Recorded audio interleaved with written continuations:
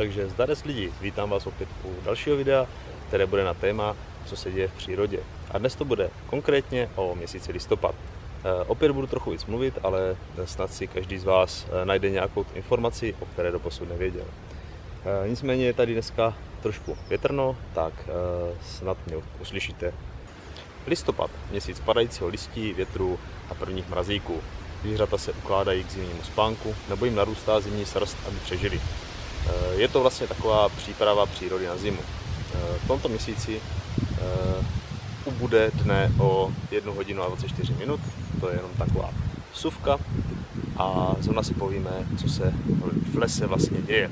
Ze stromu opadávají zbylé listy, nastává období vegetačního klidu, pro zvěř nastává období nouze s omezenými zdroji potravy.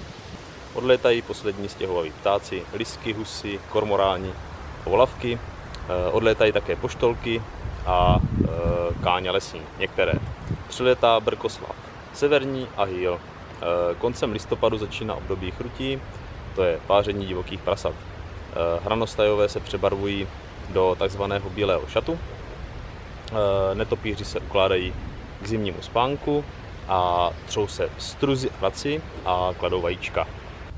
Víte o tom, že se podle listí na stromech dá docela dobře odhadnout, jaká bude zima a je to docela přesné. Stromy totiž na podzim zbarvují listí do žluta. Postupně v něm odumírá totiž chlorofil a čím později k této změně dojde, tím později eh, stromy začnou žloutnout, hnědnout a opadávat. A tím tuší samozřejmě bude zima.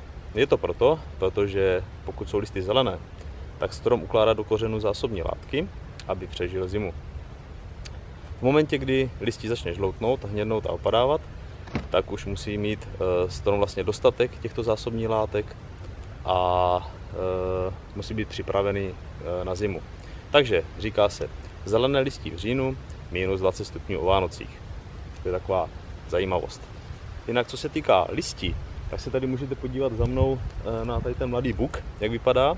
A můžete si všimnout, že to listí na něm je blíž k kmenu, jakoby tam, kde, se, tam, kde méně svítí sluníčko, víc zelené a čím víc jde na e, stranu větviček, to znamená čím víc na něho svítí sluníčko, e, tím víc začíná žlutnout, případně červenat až hnědnout.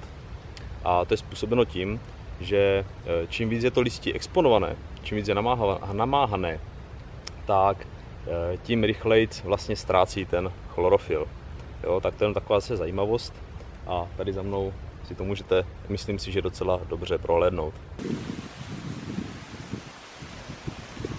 No a co se týká bylinek, tak eh, pokud není půda ještě promrzlá, tak se tady v tom období stále ještě sbírají kořeny. Eh, jinak v listopadu začínáme eh, sbírat listy melí, nicméně o tom vám budu dělat zvlášť video, takže se můžete těšit.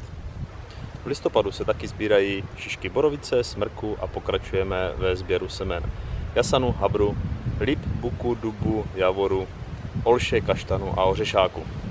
Eh, opravují se ploty školek proti vnikání zvěře. Eh, dokončují se podzimní zalesňovací práce a vysazují se topoly. Eh, taky pokračujeme intenzivně v ochraně kultur proti okusu a ohryzu zvěří. Dokončují se probírky a při prořezávkách začínají lesníci s výrobou vánočních stromků. No a samozřejmě v tomto období rozmistujeme budky pro ptactvo. No a jak jsou na tom zvířata v lese tady v tom období? Začíná se s intenzivním přikrmováním zvěře. Eh, listopad je tím eh, snad nejzaším termínem, kdy se mělo, kdyby se mělo navážet eh, seno do krmelců a do různých jiných zásobníků či oborovů. Staví se zásypy pro koroptve a v bažantnicích soustředují bažanty intenzivním krmením. Kontroluje se technický stav přezimovacích obůrek a začíná období společných lovů, zejména na černou zvěř. A to hlavně teda, když uh, už v pozdějším listopadu pak uh, napadne sníh. Pokračuje uh, odstřel jelení zvěře, daňků, holé srnčí, muflonů a samozřejmě začínají společné hony na drobnou, na bažanty a zajíce. Myslivci taky v tomto období tlumí počty dravé zvěře. A co se týká sparkaté, tak eh, roční srnečci tady v tom období shazují paroží. No a začíná mufloní říje, říje jelence běloocasého a kamzíka horského. E, končí říje jelena siky a doznívá dančí říje. A nejstarší kusy daníka skvrnitého dokončují přebarvování srsti. Jinak někteří e, savci si zhromažďují různé semínky a oříšky do svých děr a jsou to třeba veverky, sislové anebo křečci.